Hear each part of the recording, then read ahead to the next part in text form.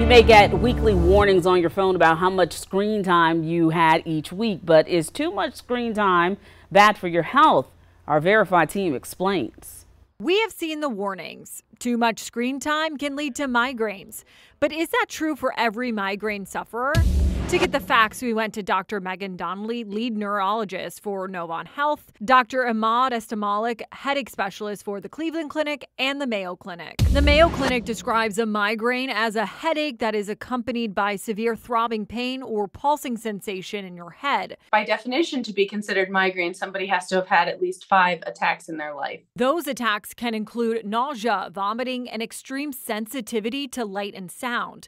But can too much screen time cause them? Them. Screen time alone is not going to cause a migraine in somebody who wasn't really supposed to have one anyway. Dr. Donnelly says it can be a trigger for people who are sensitive to light and have experienced migraines in the past. If there's somebody who already is uh, predispositioned to having migraine, they run in the family, they've had them previously, screen time can play a role for some patients. The time of day can also play a role in migraines that are triggered by screen time. So if somebody is looking at the screen and it's during regular hours, they might do better. But if they're looking at the screen at all hours of the night, that can uh, worsen the frequency of migraine as well. Really minimize uh, screen time, phone time, especially in the in, in in the one to two hours before you know someone goes to sleep. I think that will make a tremendous difference. Dr. Donnelly says other triggers like stress, weather, too much or too little sleep can also kick off a migraine. So getting a migraine from too much screen time really depends